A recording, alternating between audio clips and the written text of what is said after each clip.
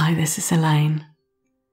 The session today is to help you to change the way you feel and think when someone in your life makes you feel small, teases, or hurts you.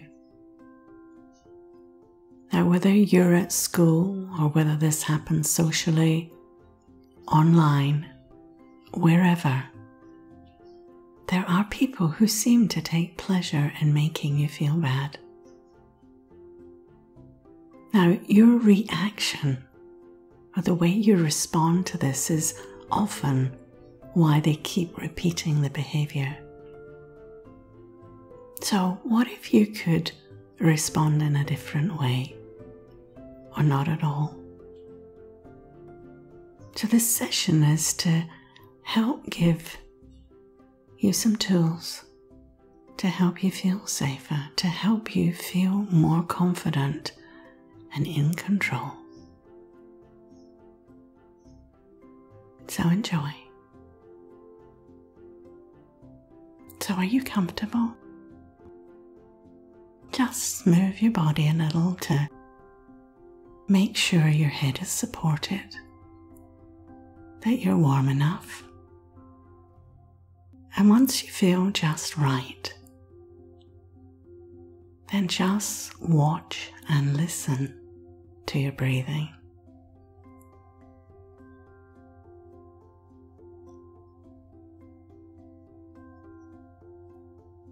Notice the sound as you breathe in, and then the sound as you blow out.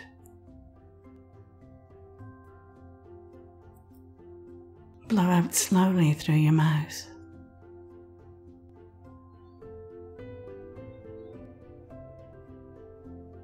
And notice each time you breathe in and out.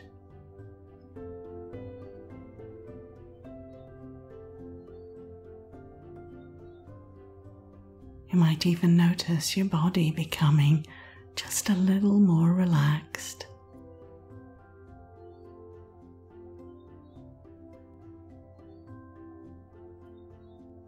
You start to feel a little more settled.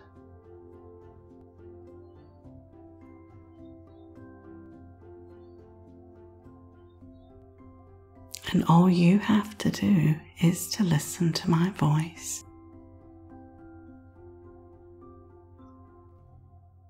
To the words that I say. It's really very easy. And if at this point you still have your eyes open, you can close them or leave them open. It actually doesn't matter. It's whatever makes you more comfortable.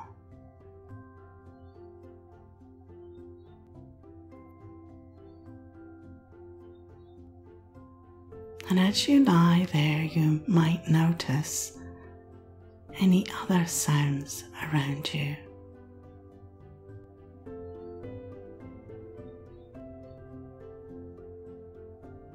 Take note of them.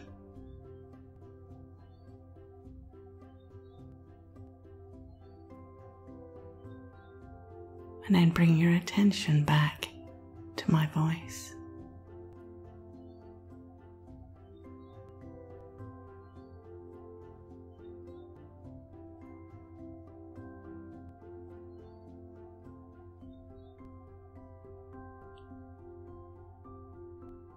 and then watch and listen to your breathing.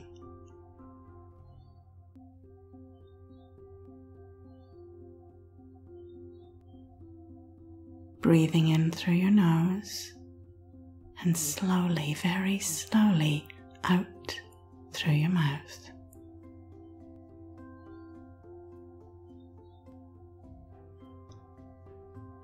A few more times now in through your nose and out through your mouth.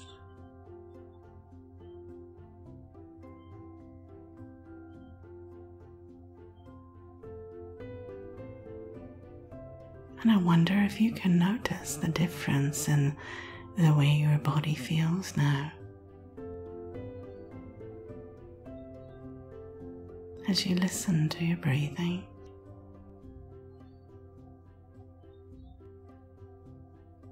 as you listen to my voice.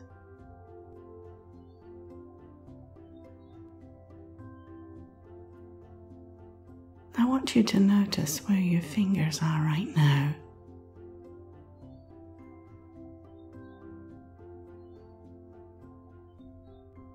And move them a little. Just be aware of your fingers and what you're touching the covers, the side of the bed or chair. Maybe they're just by your side. Maybe you can feel the fabric, the sheet, the covers.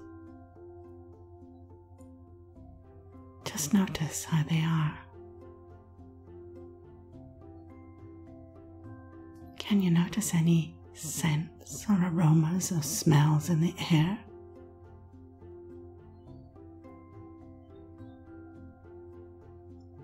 Let your nose find any smell. Maybe just the smell of the soap on your body or shampoo in your hair. Or maybe the smell of the freshly washed sheets.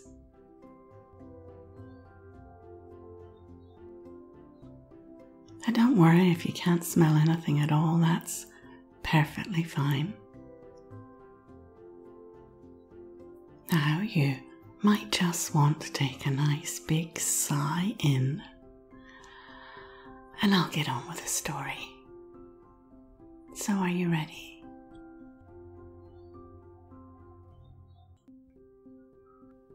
The story today is about Pippa the platypus. Do you know what a platypus looks like? Well, she's a rather odd looking animal who lives in the Australian bush. And her picture is on the thumbnail and also on the video if you want to see her. Now, Pippa was normally a happy, easygoing platypus who loves to swim and play and eat and laugh. But there was one thing that made her feel very sad, and this thing upset her very much.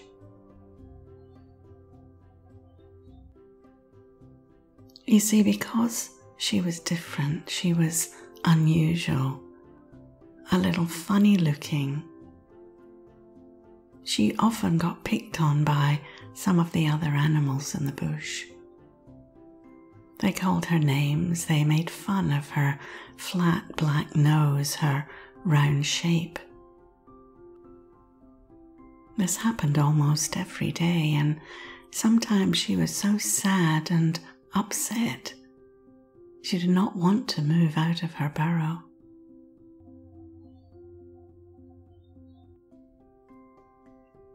She was also a little bit scared because although they were only words, they really hurt her deep inside, and no one else really knew how bad she was feeling.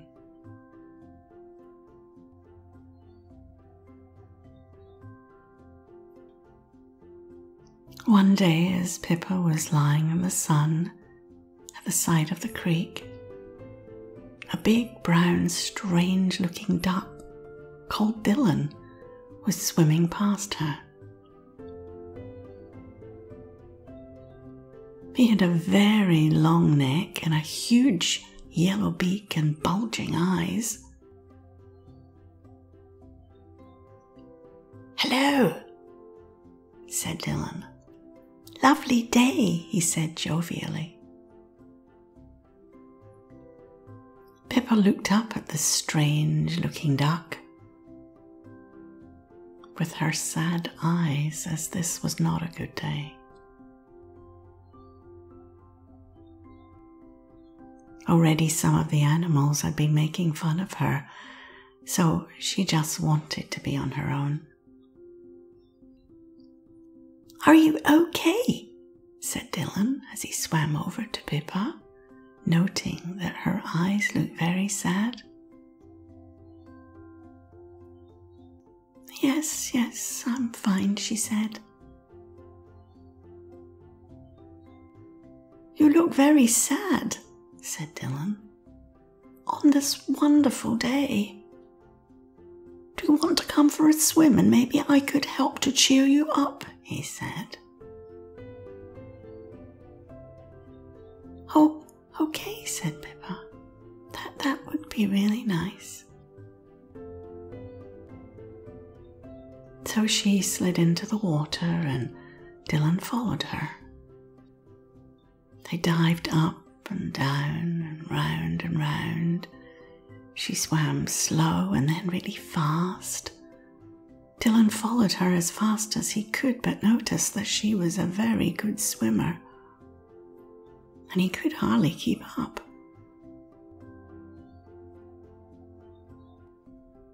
After a while, both Dylan and Pippa swam back to the bank to get dry. Pippa noticed that Dylan's feathers were not even wet and her fur was soaking wet. So, how come your feathers are not wet? she said to Dylan. Well, he said, you see, I have this waxy substance all over my feathers, and it means that when water lands on it, it just slides off the wax, so I just don't get wet or cold. It's actually only my feet and my beak that get wet.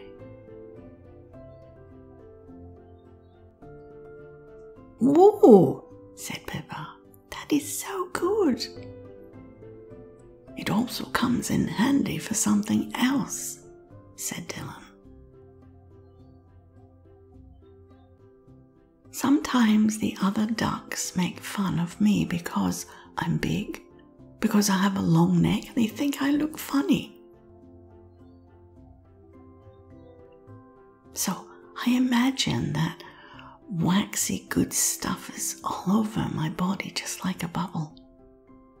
And every time someone says something mean or upsetting, I imagine those words bouncing off the bubble. That is so cool, said Pippa. Yes, said Dylan.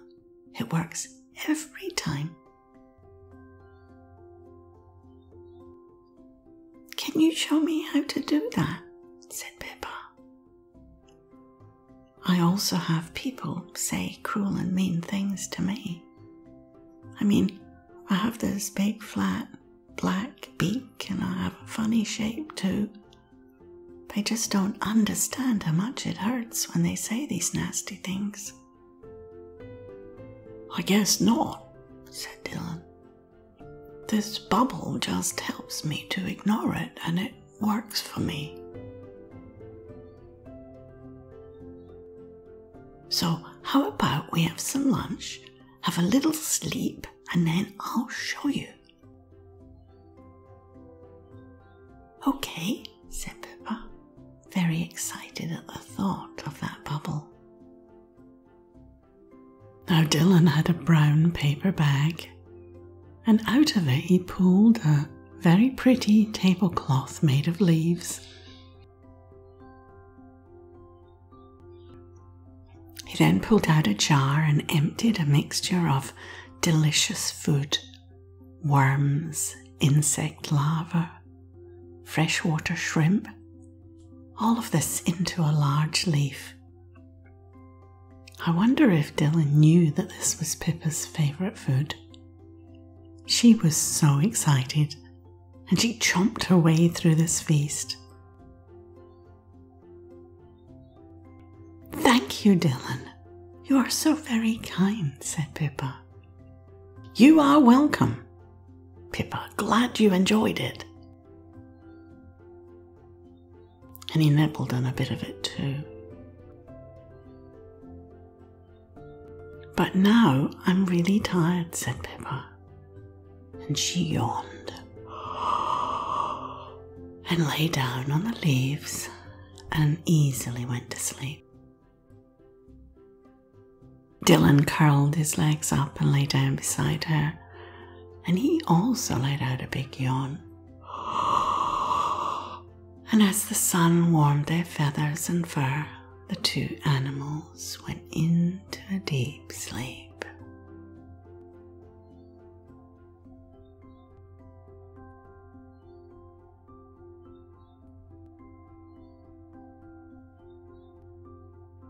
If you also feel tired, you can go to sleep too. In fact, you can go to sleep anytime during the story.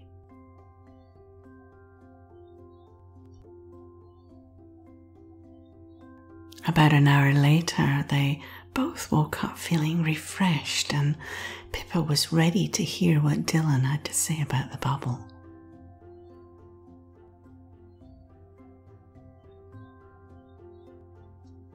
Okay, said Dylan.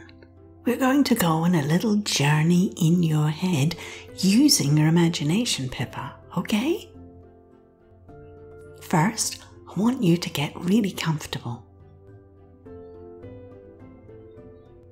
And then I want you to close your eyes. Now, I want you to imagine a special place where you feel really, really relaxed, where you feel calm and safe. Now, this can be a place you've been to before, maybe a place you went on holiday, or maybe a place in your house. Or you can make it up, it can be a fantasy place.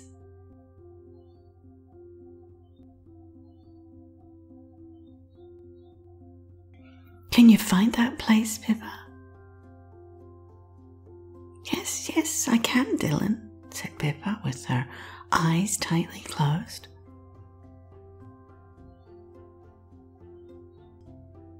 Is this place hot or cold? What colours do you see around you? Can you smell anything? Scents, aromas in the air.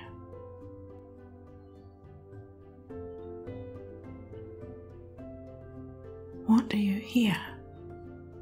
Listen. Are you inside or outside?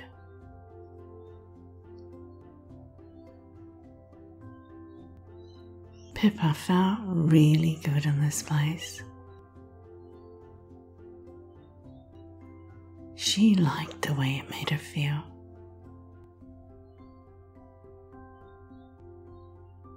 So safe, so comfortable.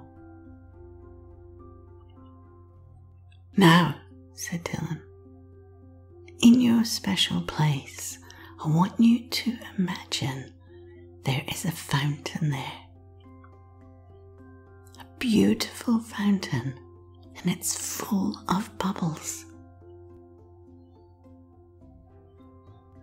Red, blue, green, purple, white, yellow, any colour you like, but there are bubbles everywhere. Yes, yes, I see that, said Pippa. So go over and pick out a bubble. So Pippa imagined herself getting up, going over to the fountain, and picking up a yellow one. You see, yellow's her favourite colour. I wonder what your favourite colour is. As she put her hands around it, she saw it was soft and wobbly. That she could move it to make it big or small. So It was stretchy. Okay, said Dylan. Now imagine standing on the bubble and pulling it up around you.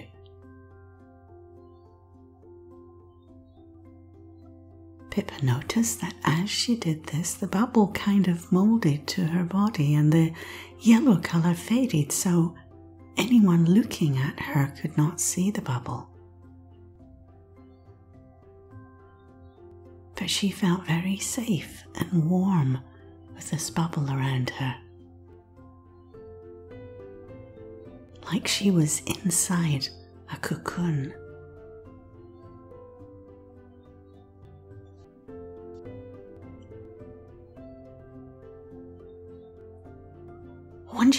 Imagine yourself now, Pippa, walking through the forest. Like it's maybe tomorrow.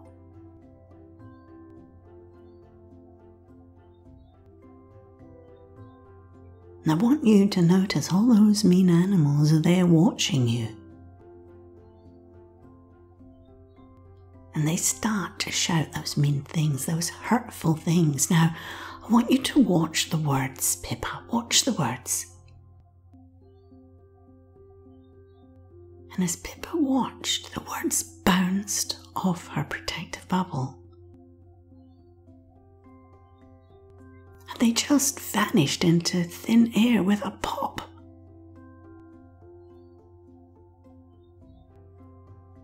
Now, the animals weren't sure what was going on and continued to throw those hurtful comments Pippa. But the bubble kept rejecting those words, and she found that soon she couldn't even hear the words, they became unclear. And then, and then she noticed the mean animals were getting bored and started to move away. Oh my, said Pippa, my wonderful bubble. Now, said Dylan, every morning when you get up, I want you in your head to go to your very safe and calm place. Find your fountain, choose your bubble. You can choose a different colour every day if you want. Just like when you choose your clothes. And then, with your bubble in place, all around you, you are ready for the day. Oh, and by the way, you find your bubble in less than a minute, so don't worry about not having time in the morning.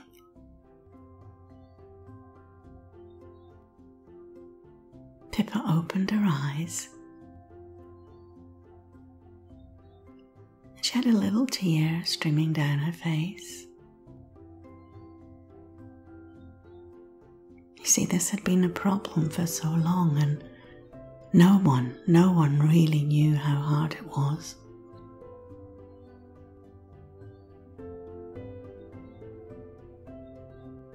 The hurtful comments, the harsh words, the meanness she experienced almost every day just because she was different. Because she didn't look like everyone else.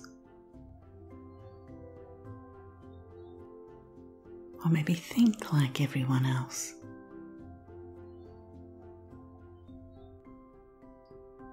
She is proud of who she is. She likes her flat black beak and never again Will she ever let those mean animals upset her in the same way again?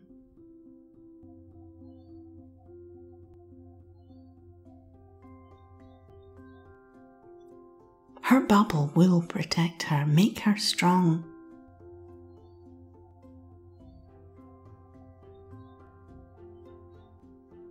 Her bubble will always be there for her.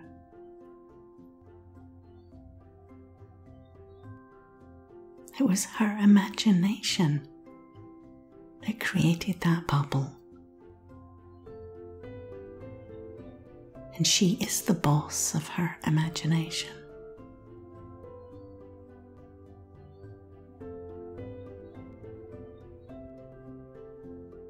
Now Dylan watched with delight as he saw Pippa connecting with the bubble.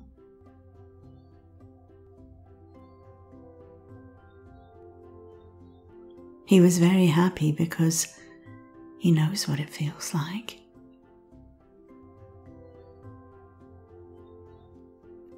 And he still goes to the bubble fountain every day.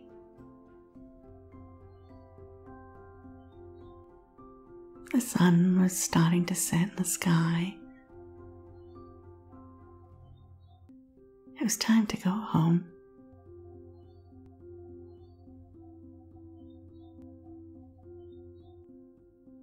Dylan said goodbye to Pippa. I don't know how to thank you enough, Dylan. I will always be grateful, and please come and visit again one day soon. You are very welcome, Pippa, and yes, I will come back one day for lunch. He jumped into the water and slowly swam downstream, waving at Pippa. Pippa found her barrow and dug herself in, and in a matter of seconds, she felt herself falling asleep.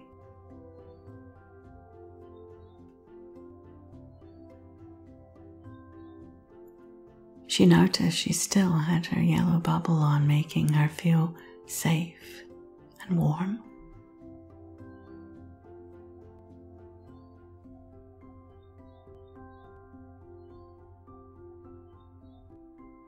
Tomorrow would be a good day.